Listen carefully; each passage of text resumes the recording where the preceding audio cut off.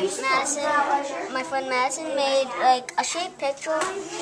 We used uh, two rectangles, I mean two uh, squares, two triangles, and one and a square actually. So that means this guy has two triangles. So like this is the garage and this is the house. That's the sun because we used we just didn't uh, um like a square because we didn't know know how to really make it circle. So and uh, so um, we used Okay, so then as your many shapes. it's basically the same thing. What kind of shapes did you want to see use? you can decorate it and still make it. And we also used many colors.